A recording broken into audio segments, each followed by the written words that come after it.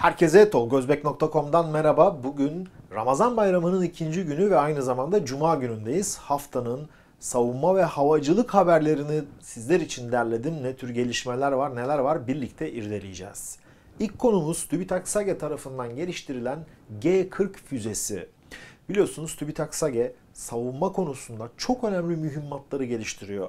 İlk projelerinden biri yerli seyir füzesi SOM'du. SOM'un arkasından birçok farklı bomba, mühimmat konusunda teknolojiler geliştirildi. En son günde ve TÜBİTAK SAGE e, Gökdoğan ve Bozdoğan hava hava füzeleriyle geldi. Geçtiğimiz günlerde de TÜBİTAK SAGE Enstitü Müdürü Gürcan Okumuş mavivatan.net sitesine bir röportaj verdi.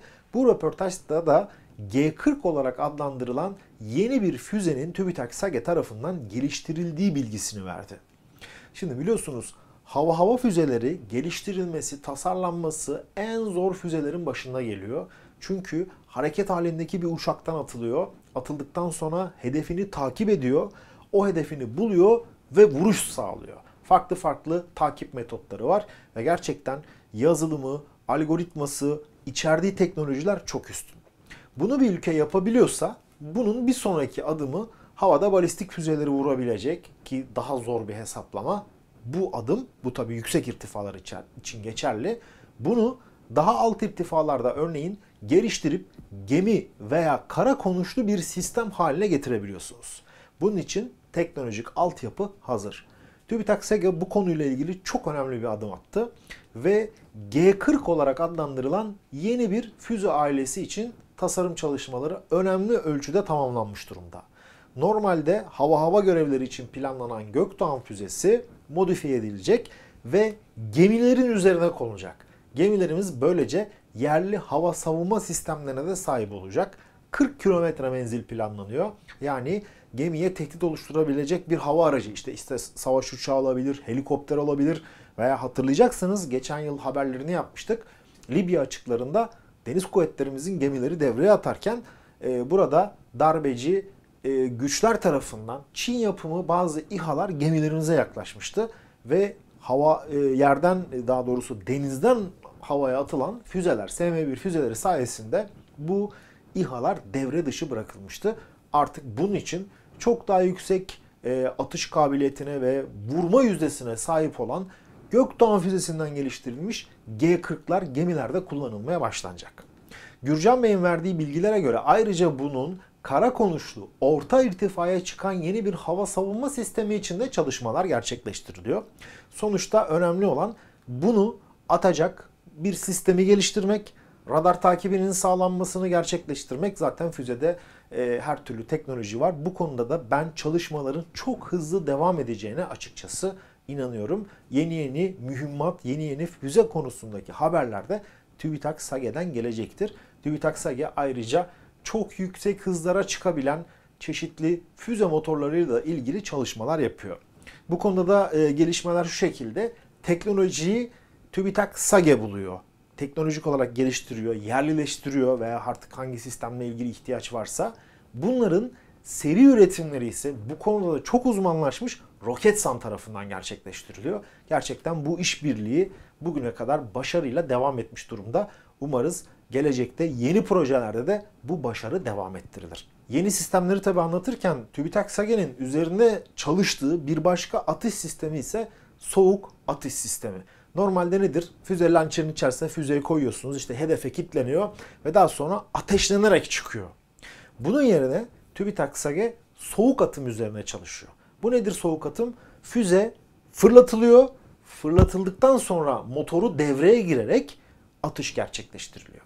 Bu nedir? E, bu, bu sistemin avantajları ise örneğin gemiden attığınız zaman roketin e, etkisiyle birlikte gemi sistemlerine zarar verebilirsiniz. İşte geminin radarına, diğer sistemlerine, personele soğuk atımla birlikte belirli bir emniyet mesafesine kadar füze fırlatılıyor. Yani herhangi bir ateşleme soğuk atım olduğu için yapılmıyor ve daha sonra kendi sistemini ateşleyerek füze yoluna devam ediyor.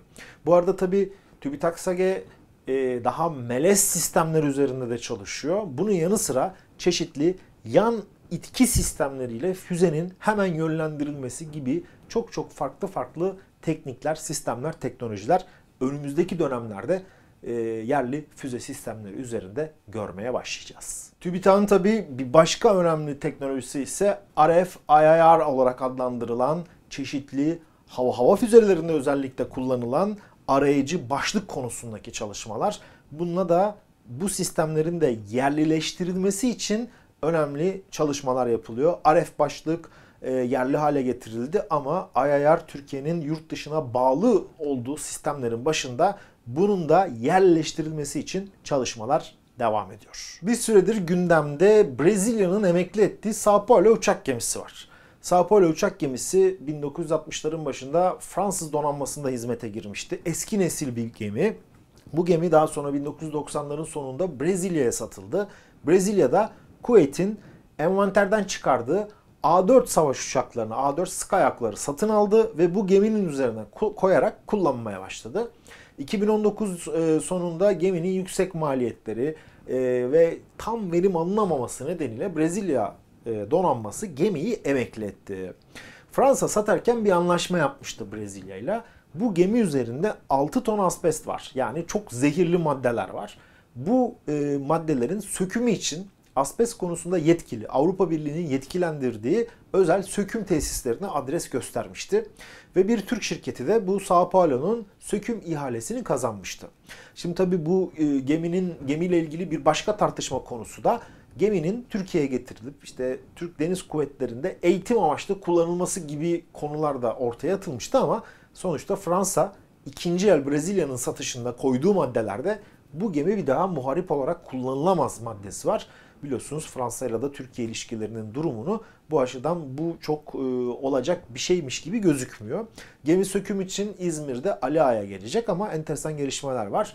Bu gemi e, özellikle İzmir Büyükşehir Belediye Başkanı Tunç Soyer'in bir girişimi var. Geminin Ali Ağa'ya getirilmemesi, çevre faktörlerinin dikkate alınması ile ilgili.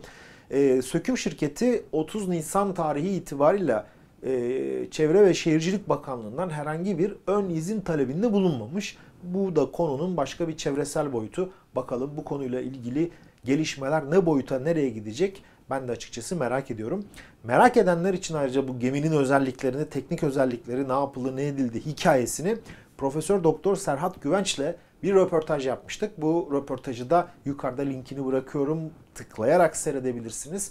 Serhat Güvenç Hoca bu konuyla ilgili Sao Paulo gemisiyle ilgili detayları siz izleyicilerimize anlatmıştı. Merak ediyorsunuz tıklayıp buradan izleyebilirsiniz. Geçtiğimiz günlerde Türk Deniz Kuvvetleri'ne ATR-72 tipi yeni bir uçak daha teslim edildi ve bu uçakla da ilgili çok sayıda soru aldık. Hem web sitemizde hem de buradaki izleyicilerimiz bizlere sorular sordular. Arkadaşlar Deniz Kuvvetleri'nin elindeki ATR-72'ler ikiye ayrılıyor. Bunlardan birincisi düz normal sivile e, çok yakın sistemlere sahip hem personel nakli hem de malzeme naklinde kullanılan düz ATR 72'nin 600 modeli. Bunlardan ilk ikisi 2012 yılında Türk Deniz Kuvvetleri'ne teslim edildi ve gelecekte teslim edilecek deniz karakolu uçakları içinde bunlar bir altyapı oluşturacaktı. Pilotlar eğitimlerini yapacaklar, teknik bakım ekipleri uçağa bakımlarını yapacaklar ve bir altyapı oluşturulacaktı.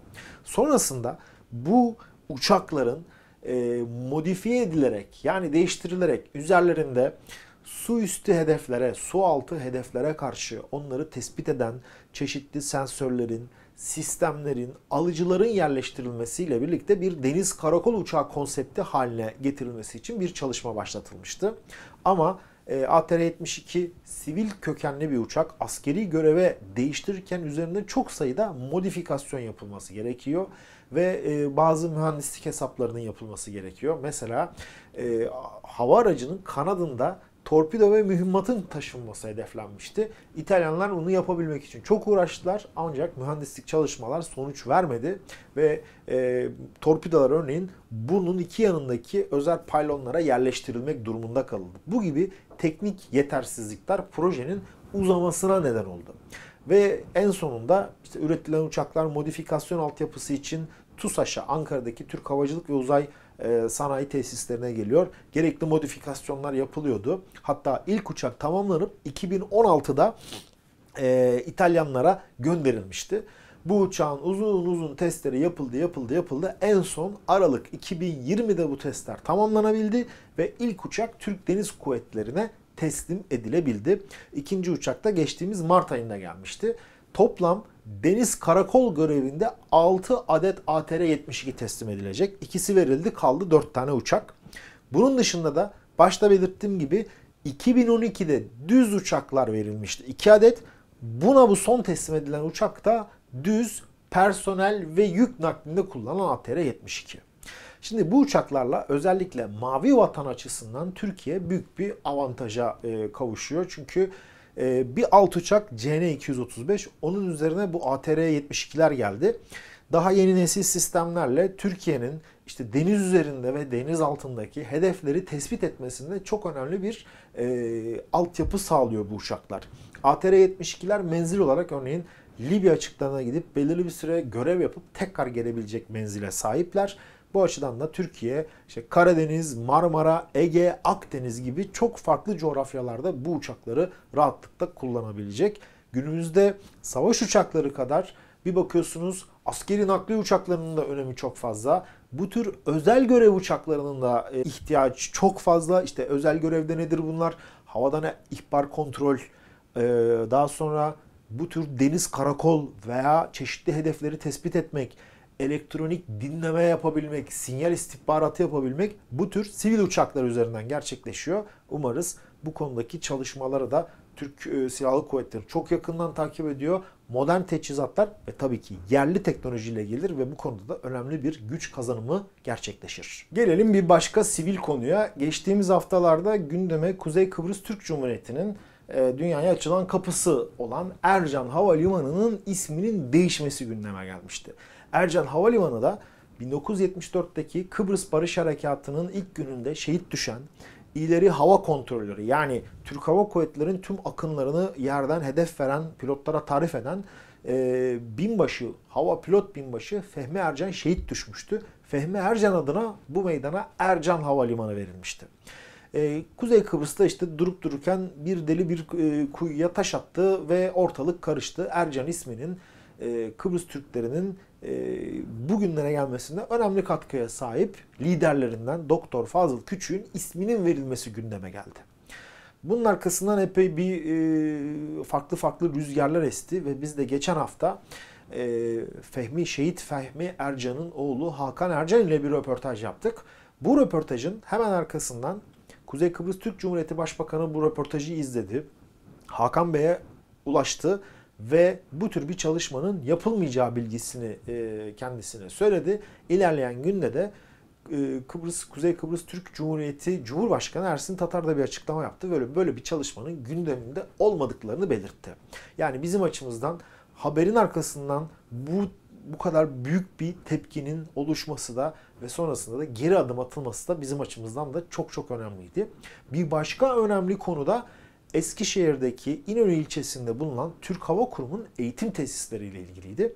Eğitim tesislerinde planörlerin kullandığı 3-4 pist başı var. Planör biliyorsunuz motorsuz hava aracı. Oradaki belediye bu pist başındaki araziyi kamulaştırmak üzere adım attı. Kamulaştırıp oraya işte mesire yeri, çocuk bahçesi yapacak. Düşünün tepenizde planörler uçuyor. O planörler alçak kaldığı zaman neresi boşluksa oraya teker koyuyorlar. Çocuklar oynarken buraya teker koyması, şudur budur çok ciddi problemler olacaktı. Belediyenin bu gerçekten hiç düşünülmeden atılmış adımı Türk Hava Kurumu tarafından yargıya taşındı ve sonunda da idare mahkemesi, üst mahkeme bu adımı iptal etti. Bu da gerçekten Türk Hava Kurumu'na ve havacılık açısından önemli bir adımdı. Bunu da geçmiş günlerde gündeme, kamuoyuna getirmiştik. En azından bu adımların atıldığını sağduyu sahibi, doğruları gösteren e, bu adımların atılması ve hayata geçmesi bizler açısından da hem haberimizin etkisinin görülmesi hem de havacılık açısından önemli adımlardı. Biliyorsunuz tabii son günlerde e, İsrail oldukça karışık. Kadir Gecesi Mescid-i Aksa'ya İsrail güçleri e, baskın düzenlediler. Caminin içine girdiler. Daha sonra bunları protesto eden Filistinlere aşırı bir e, orantısız bir güç uygulandı ve ortalık karıştı. Hamas füzelerini atmaya başladı. İsrail demir kubbe sistemiyle bu füzeleri engellemeye çalıştı ve epey böyle bir tansiyon yükseldi. Arkasından dün gece İsrail Hava Kuvvetleri e, Gazze'ye bir saldırı düzenlediler. Ve gerçekten 160 uçakla yapılan çok büyük bir hava operasyonuydu. Bu e, hava operasyonunda bazı atılan mühimmatları incelediğimiz zaman örneğin GBU-31 gibi 2000 libre yaklaşık 1 tona yakın devasa bombalar kullanıldı. Şimdi tabi burada attıkları yer bir yerleşim birimi. Yerleşim biriminde de bu kadar devasa bir bombanın düşmesi can kayıplarını inanılmaz arttırmış durumda. Tabi zarar gören Filistin e, halkı, sivil halk, e, ölü sayısı çok çok artmış durumda. Bu da gerçekten çok ciddi bir soru işareti ve e, bu tür e, çok büyük bombaların kullanılması da gerçekten hani e, İsrail'in Filistin'e bakış açısında ortaya koyuyor. Gerçekten büyük bir insanlık dramı yaşanıyor. Videomuzun sonunda size iki kitap tanıtacağım. Kitapla ilgili çok fazla e, soru geliyor. Bu tür çıkan yeni yayınları da ben tanıtmaya çalışıyorum. Amacım daha çok insanın bu yayınlara ulaşması ve kitapları takip etmesi. Birinci kitabımız 1940'ların pilotu. Yazan Çetin Tuna babasının anılarını yazmış. Babası emekli assubay pilotlardan, Türkiye'nin ilk emekli assubay pilotlarından.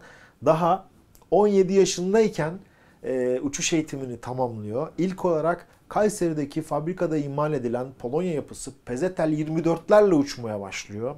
Ve dönemin Tomahawk, Kitty Hawk, Spitfire serisi hatta Falkfof 190'da e, da 50 dakikalık bir uçu, uçuşu var. E, bu 2. Dünya Savaşı'nın neredeyse P-51 haricinde bütün efsane uçaklarıyla uçuyor. Çok çok ilginç anılar var e, Çetin Tuna'nın hazırladığı kitapta. Bu kitaba tabi gidip e, kitap evlerinden ulaşmak pek mümkün değil.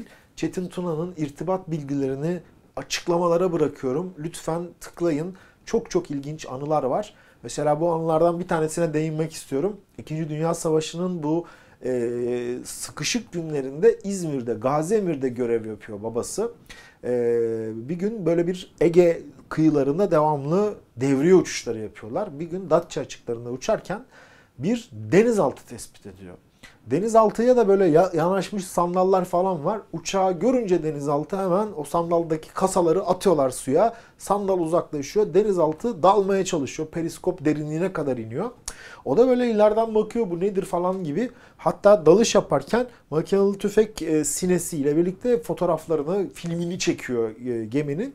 Sonra tabii e, bir gemiye benzetiyor. İlgili işte e, bağlı bulunduğu kuleye askeri birlikler haber veriyor. Hemen donanma gemi çıkartıyor bölgeye kontrol amaçlı jandarma yönlendiriliyor falan. İnince bir bakıyorlar ki bu bir İtalyan denizaltısı ve bölgedeki oradaki yerlere uğrayıp işte İAŞ almaya çalışıyor falan. Bayağı ciddi problem çünkü bunun gibi gerçekten çok çok güzel anılar var. Bu arada e, bu e, kitabı da e, meraklıları, 2. Dünya Savaşı havacılıkla ilgili meraklara tavsiye ediyoruz. Çok detaylı bilgiler içerisinde e, yer almakta. Olayın havacılık dışı ise e, gerçekten e, Çetin Turan'ın babasının e, inanılmaz fakirlik içerisinde işte annesi küçük yaşlarda vefat etmiş bir hayat mücadelesinde bir yandan anlatıyor. O yılların zorlu şartlarını da bu kitabı okuduğunuz zaman görüyorsunuz. İkinci kitabımız ise Mustafa Kılıç'ın Uçan Kanat kitabı. Uçan Kanat kitabı daha önceden Türk Hava Kurumu yayınlarından çıkmıştı. Bu kitabı tekrar Mustafa Kılıç yeniden bastırmış çünkü öbür kitaba ulaşmak mümkün değil. Uçan kanat 2. E, Dünya Savaşı sırasında dünyada ortaya çıkmış bir tasarım. Yani e, sadece bütün gövde kanattan oluşuyor ve daha sonra işte Almanların Horten bombardıman uçağı bu tasarımla yapılıyor. Sonrasında savaş sonrasında mühendislerin önemli bir kısmı Amerika'ya gidiyorlar. Northrop'un geliştirdiği uçan kanat tasarımları var ve o yıllarda Türk Hava Kurumu uçak fabrikası da THK-13 adında bir uçan kanat tasarlıyorlar. İşte bunların testleri, aşamaları neler yapıldı? Bu kitap gerçekten birinci ağızdan o testleri yapan mühendisler, o tasarımları yapan mühendislerin ağzından Mustafa Kılıç çok güzel bir kitap yapmış. Bu kitaba da e, biraz internet ortamında ulaşmak güç ama Mustafa Kılıç'ın irtibat bilgilerini de ben açıklamalara bırakıyorum. Lütfen tıklayın ve o dönemi merak edenler, nasıl uçan kanat yapıldı, dediğim yıllar 1946-47 gibi 2. Dünya Savaşı'nın hemen sonrasındaki yıllar neler yapıldı, testleri, çalışmaları bunları Mustafa Kılıç'ın kitabından e, takip edebilirsiniz. İşte bayramımızı neşelendiren iki kitap. E, sizler de lütfen havacılık kitaplarına destek vermeyi unutmayın. Bu kitaplar sayesinde tarihimize ışık tutuluyor. E, meraklıları da lütfen bu kitapları alsın diyoruz. Bugünkü gündem videomuzda farklı farklı konulara değinmeye çalıştık. Umarız e, bu konular ilgilerinizi çekmiştir. Soracağınız soruları lütfen yorum yazın. İşbirlikleriniz için info.tolgozbek.com adresine mail, elektronik posta yani atabilirsiniz. Bizde de lütfen sosyal medya üzerinden takip edin gelişmelerden haberdar olabilmek için. Kanalımıza abone olmayı unutmayın. Katıl tuşuyla da destek verebilirsiniz kanalımıza. Yarın yeni bir videoda görüşmek üzere. Herkese sağlıklı günler ve iyi bayramlar diliyorum.